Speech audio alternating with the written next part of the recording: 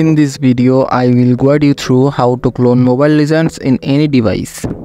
By cloning the Mobile Legends app, you can use multiple accounts in a single device. Let's clone the Mobile Legends app.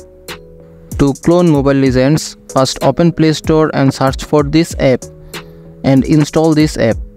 This is the latest working method, so watch it carefully. After installing the app, open it and tap on the plus icon at the bottom right corner. Now here search for Mobile Legends and tap on it.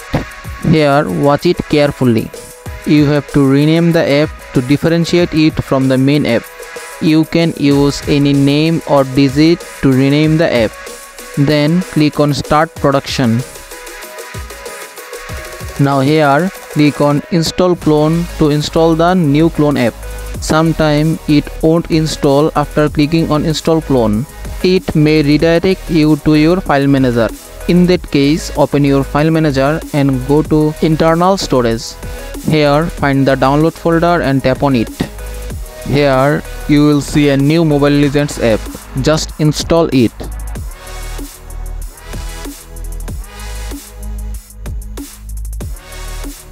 Now if I go back to the home screen, here as you can see I got a new Mobile Legends app. Now I can use it to log in a new account. That's how you can clone Mobile Legends to play multiple account in a single device. If you still have any problem, feel free to comment below. I will try to fix your problem. If this video helped you out, consider liking and subscribing the channel. Thank you.